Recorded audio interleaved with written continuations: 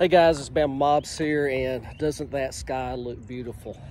Yeah, if, you have, if you're thinking about where to go on vacation, you need to come on down here to northern Alabama.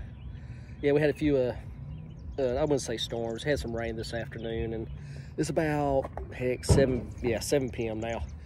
Anyway, got another workout in, working towards my goal of maybe a marathon in November, December. Know if the body holds up. I tell you, today I just really slogged through it. Uh, today's workout was again the same 30 second walk, followed by a 90 second run for a total of 30 minutes. Um, I felt good about it. Uh, I got that watch I showed you in the last video. I got the Forerunner. Um, just going to show you real quick if I can figure this out. Activities today yeah, so this is what I did today. I guess you can see that there. But like I said in the previous videos, it's not about distance, time, except for what I'm required to do with the workout.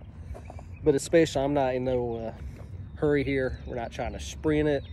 We're staying slow, staying with the program, and above all cost, avoid injuries.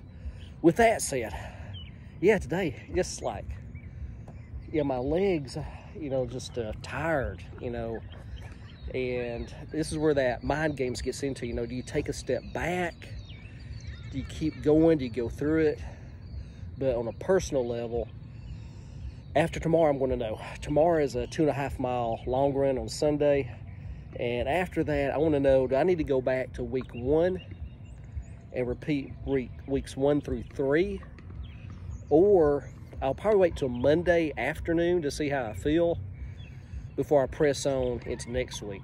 Because next Sunday is the 5K. So next Sunday, I'll be up to a 5K.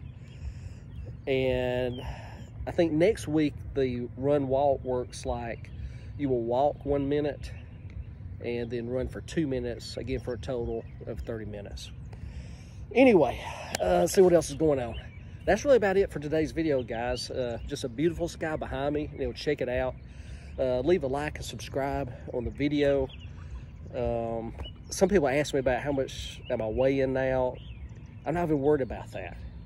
You know, yeah, if I lose weight, great. It's not about that. It's just about completing the journey slowly, one step at a time. Uh, appreciate y'all watching the videos, and I'll see y'all tomorrow afternoon.